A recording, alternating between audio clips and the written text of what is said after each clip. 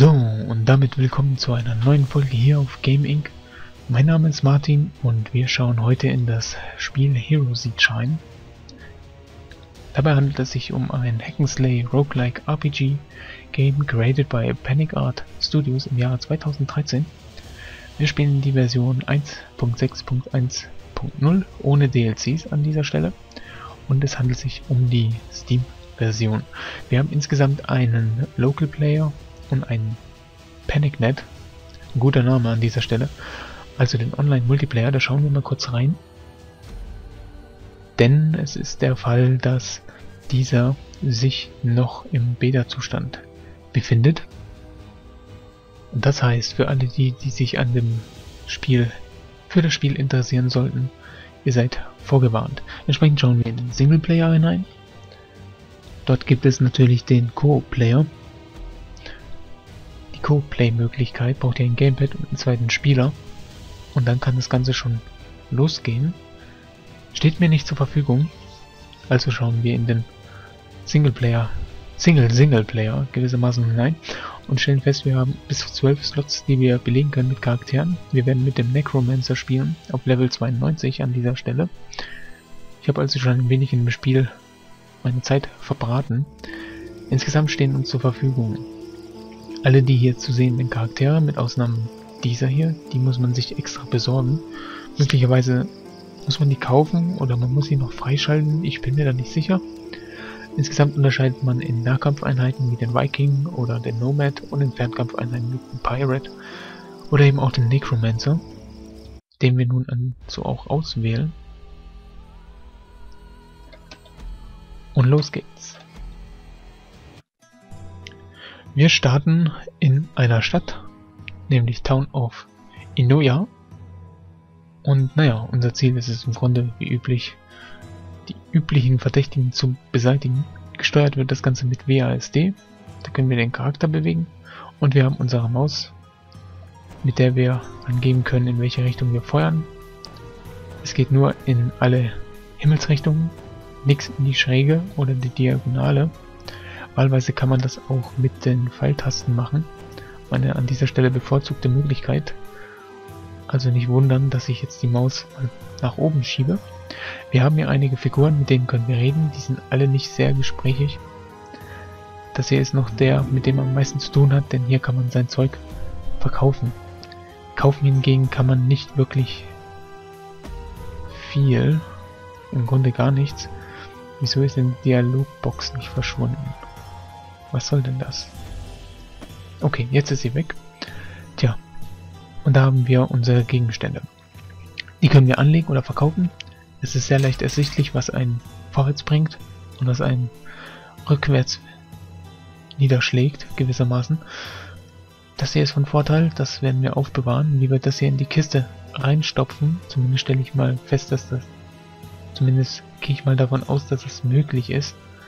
Habe ich bisher noch nicht rausgefunden. Schande über mein Haupt. Wir verkaufen unser Zeug. Das brauchen wir alles nicht. Wir sind schon stark genug.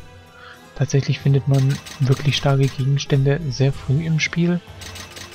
Im weiteren Verlauf wird das wirklich zur Rarität. Also etwas wie hier oben, das einen derart weiter voranbringt. Das sind gleich mal drei ähm, ja, Dreiecke, die nach oben zeigen. Drei Level-Ups in puncto Verteidigung. Das hat Seltenheitscharakter. Wir haben die Möglichkeit, unseren Schwierigkeitsgrad hochzustufen. Beginnt bei Normal, dann geht es hier durch die einzelnen Portale.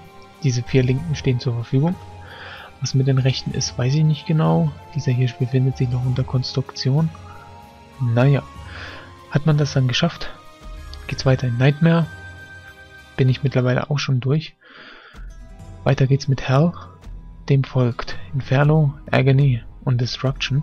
Wir werden in, das war eins zu viel, in Hell reinschauen und zwar in den ersten Levelabschnitt. Mal gucken, wie lange wir durchhalten. Ist ein Spiel, wie eingangs erwähnt, Roguelike. Mit einem Roguelike-Charakter. Das heißt, geht man hier drauf, darf man nochmal von Grund auf anfangen, wie in diesem Fall jetzt auch der Fall. Die Ladezeiten halten sich erfreulicherweise in Grenzen. Und dann heißt es hier nichts anderes als überleben. Wir finden Kisten, wie diese hier. Dort ist oftmals Geld drin, manchmal auch ein bisschen was an Gegenstände. Wir finden eine Menge Gegner, wie etwa diese hier. Manche von denen haben besondere Eigenschaften. Ranged Resistance in diesem Fall, das heißt hier müssen wir nah ran, um die zu besiegen. Und da haben wir schon ein Level Up. Beschwören wir einen Untoten. Unten sehen wir die Fähigkeiten, die wir erlernen können, beziehungsweise erlernt haben.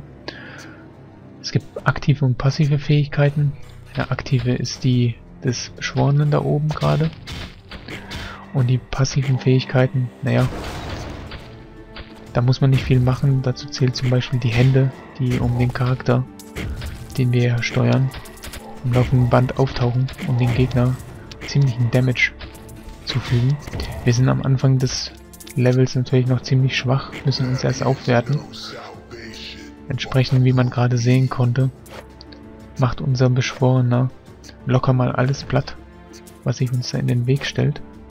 Wir sammeln das Zeug ein. Leben und Mana findet man. Oder aber beschafft man sich durchs Besiegen von Gegnern, manchmal auch über Kisten.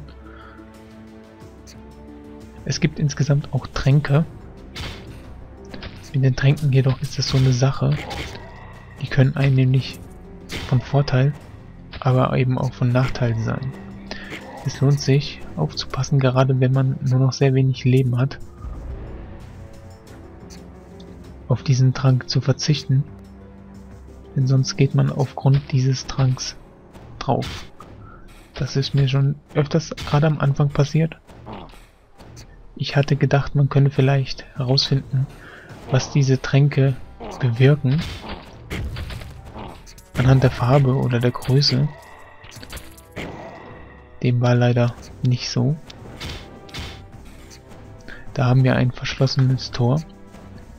Es tauchen immer wieder mal Sidequests auf, Nebenquests, wo man dann ein paar der stärkeren Zwischengegner beseitigen kann, die insgesamt tatsächlich keine große Herausforderung sind, was mich wundert. Gerade in der Anfangszeit sind die Endgegner der einzelnen Levelabschnitte, wie eben diesem hier, auch nicht wirklich sehr stark. Mittlerweile hat sich das geändert. Das gilt auch für die eigentlichen Bossgegner der jeweiligen Stage, auf der man sich hier gerade befindet. Größeren Gefahren sind dann oftmals tatsächlich die Fallen, die man im Gemenge übersieht, wie etwa diese Stacheln, die da aus dem Boden rauskommen. Die werden in diesem Fall noch vom Baum verdeckt und wenn man dann mitten in einer Masse von Gegnern ist, dann übersieht man die doch sehr leicht.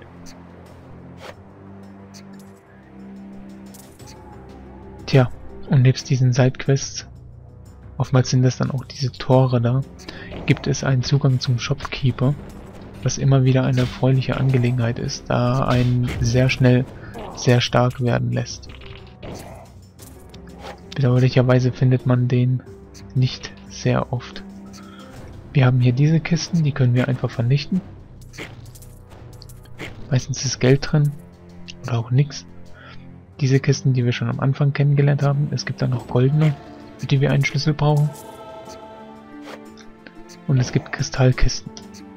Mit Leertaste können wir die nächste Welle erscheinen lassen. Man kann auch mehrere Wellen gleichzeitig erscheinen lassen. Und manchmal taucht dann eben auch so etwas hier auf. Das werden wir eventuell in Anspruch nehmen, eventuell aber auch nicht. Denn ich stelle gerade fest, wir haben einen Schlüssel. Und bevor wir den hier aus Versehen irgendwo investieren, sollten wir ihn in dieses Tor dort investieren, in diese Luke. Ich bin mir ziemlich sicher, dass das ein Shopkeeper ist. Und wie schon gesagt, der lässt uns sehr schnell sehr stark werden. Dann ist die Überlebenswahrscheinlichkeit natürlich umso größer.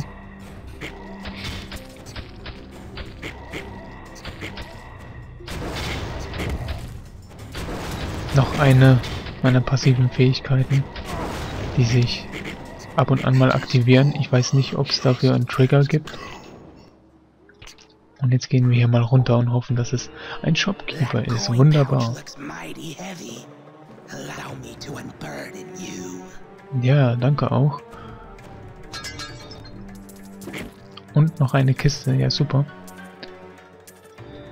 Sammeln wir auf der rechten Seite noch das Gold ein.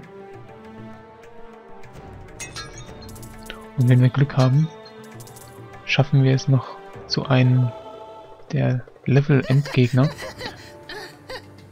Du hast gut lachen. Nehmen wir mal einen Trank, der hat uns Vorteile verschafft. Und dieser Trank, der tatsächlich auch. Da haben wir doch Glück gehabt. So, hier können wir unser Geld investieren. Es gibt Gold, wie man unten rechts sehen kann, nebst dem Schlüssel. Und es gibt unten links diese Kristalle, die, man kann es sich denken, sehr schwer zu ergattern sind. Und hier haben wir eine weitere passive Fähigkeit über einen Gegenstand erworben. Etwas, das uns folgt.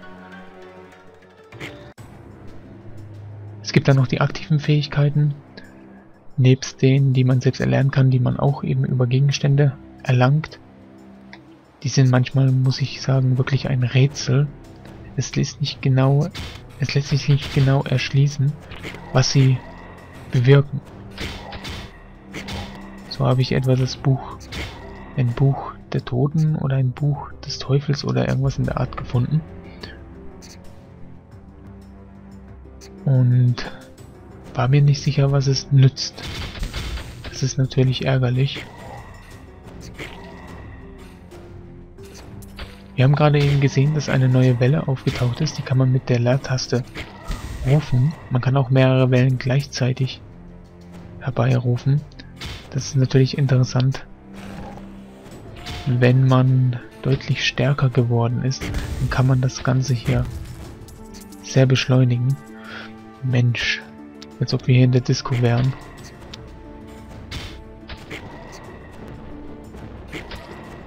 So, jetzt hier rein ins Gemenge. Noch ein paar Untote beschworen. Beschwören. Ist hier der grammatisch korrektere Begriff.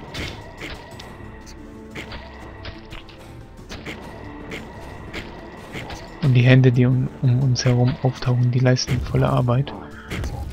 Das hat doch wunderbar geklappt. Sammeln wir gerade das Zeug auf. Da haben wir eine Kristallkiste. Und die nächste Welle ist auch schon am Kommen. So, du bist kein Problem. Und du erst recht. Jetzt fehlt uns natürlich ein Kristallschlüssel.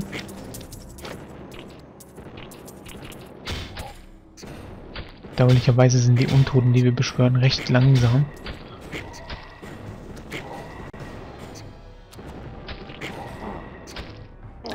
Insgesamt gibt es von diesen Stages, also was den Schwierigkeitsgrad angeht, drei solche, nein Moment, vier solche Level, die es zu bewältigen gilt.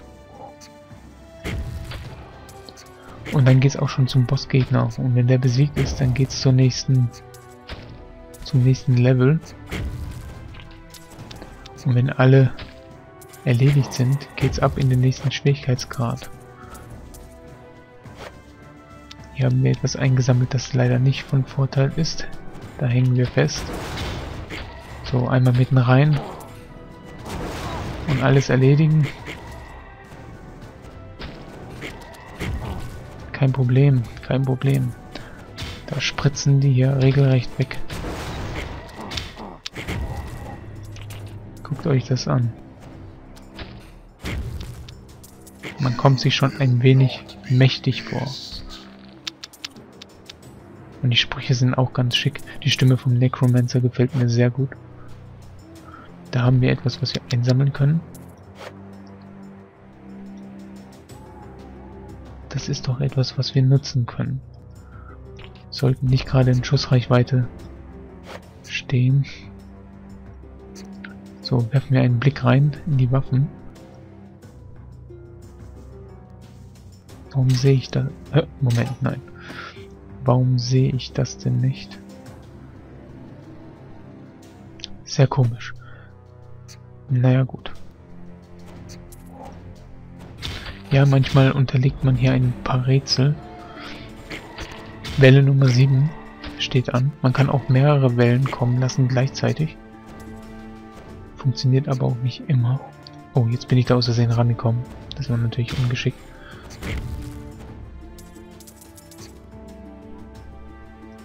Wäre noch eine Rüstung.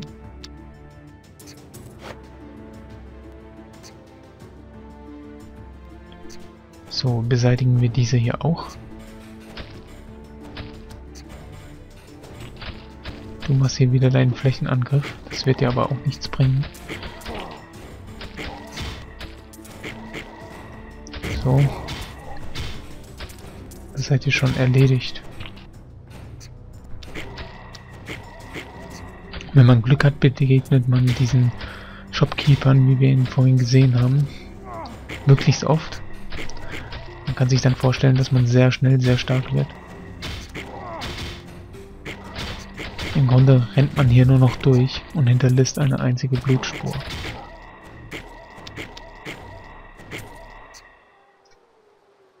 Ah, die Netze halten uns ein wenig auf. Da ist noch ein Amulett. So, ihr müsst auch dran glauben. Habt es euch selber ausgesucht. Sehr schön. Das läuft wunderbar, wir sind noch nicht einmal draufgegangen. Und da sind wir auch schon beim Endgegner für diesen Levelabschnitt. Schnappen wir uns noch die Kiste. Jetzt gilt es den hier ausfindig zu machen. Oder auch einfach dem Pfeil zu folgen. Conjured Mask. Da ist er. Das muss ich ja sagen, ist der einzige Endgegner, den ich bisher noch nicht so richtig raffe, was der eigentlich macht. Der schwebt da herum und dann wird er besiegt. Tja. Da gibt es fähigere. Sind aber insgesamt auch keine ja, ernstzunehmende Herausforderung.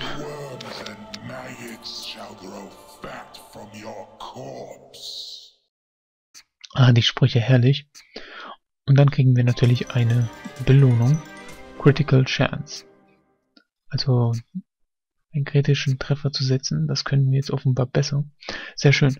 Wir haben jetzt noch eine Kristallkiste, nur keinen Kristallschlüssel, das ist ein wenig ärgerlich.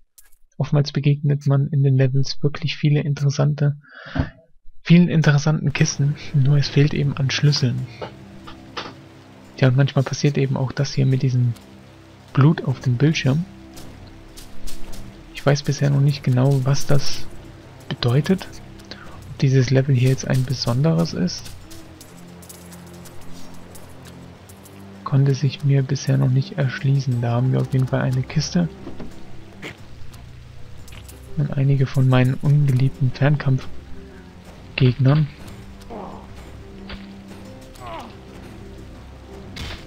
Weiß schon, warum ich Fernkampf bevorzuge.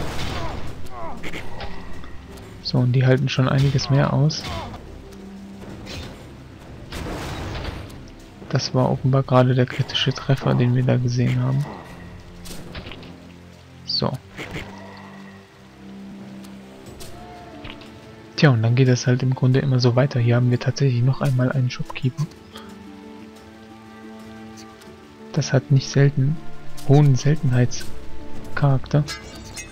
Und eine Kristallkiste. Jetzt fehlt es natürlich an Schlüssel.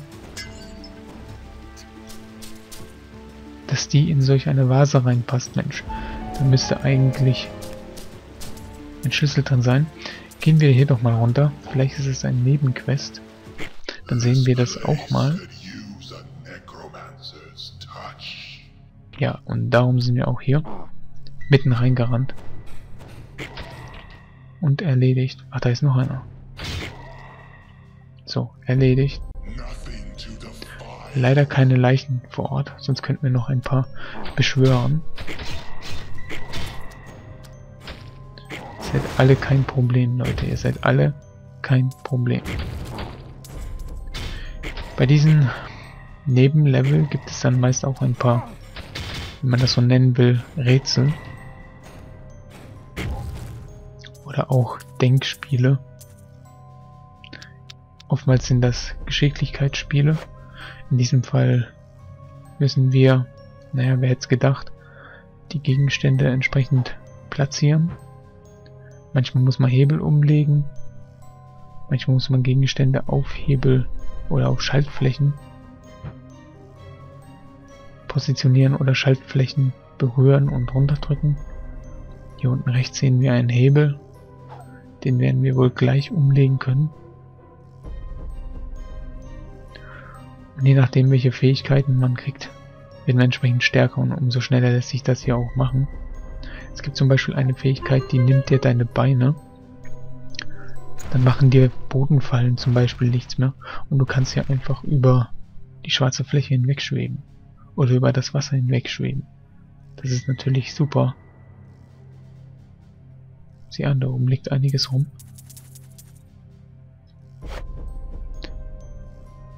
um die ganze Sache deutlich effektiver zu machen, umso ärgerlicher ist es, wenn man dann drauf geht.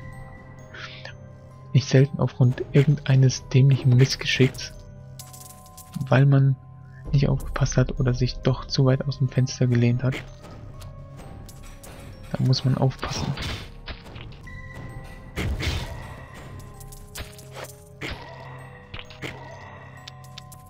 Wir haben keinen Schlüssel. Aber hier sind Kisten. Und eine Riesenratte, die so hungrig ist, dass sie ihren Käse regelrecht verzweifelt sucht. So, aber du bist auch keine Herausforderung. Hoppala. Tja, sobald der Gefährte hier vor Ort ist, sieht's übel für dich aus.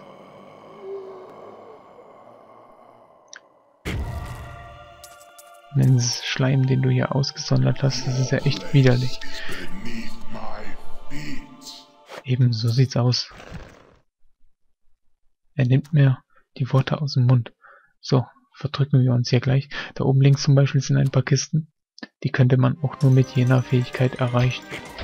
Anders kommt man da nicht ran.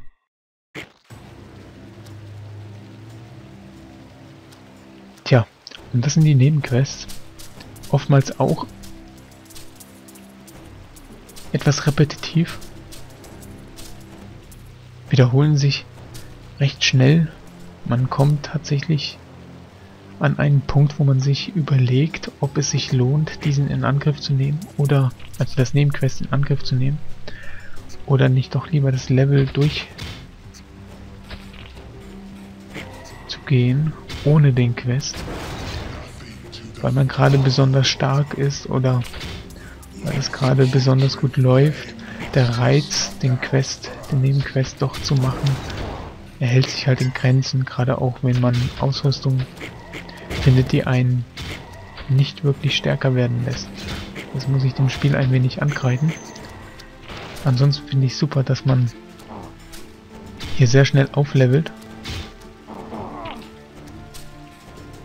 Weiß jetzt nicht, wie viele Stunden ich hier schon reingepulvert habe.